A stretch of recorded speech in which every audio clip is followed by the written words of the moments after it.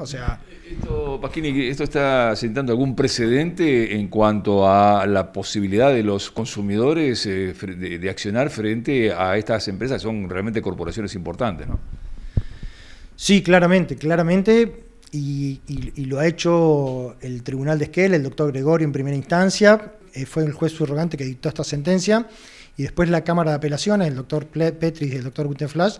Yo creo que ellos han sentado eh, eh, un precedente muy importante eh, a partir de esta acción de clase, eh, porque en realidad le, han dado un respaldo a, los consumidores y han sancionado fuertemente a, estas empresas que claramente les conviene incumplir con lo que tienen que cumplir, reitero, incumplir con lo que tienen que cumplir, y pagarle a los 5, 6, 10, 20 o 50 que reclamen. ¿sí? En, esta causa, en esta causa, por ejemplo, nosotros pudimos probar que en, en defensa del consumidor, cuando hubo tres meses que, no, que el servicio anduvo mal, hubo menos de 50 reclamos, porque la gente no va a reclamar porque no puede, porque no sabe, porque no tiene tiempo, y aquel que va lo agotan con audiencia, no los organismos, sino las empresas, son profesionales en agotar al consumidor, en, decir, bueno, arreglo lo que quiera con tal de terminar con esto, ¿no? Entonces, eh, la Cámara claramente dijo, o sea, que a la empresa le era más, más barato eh, incumplir que haber cumplido, ¿no? Porque el, de ese incumplimiento le sale más barato porque, porque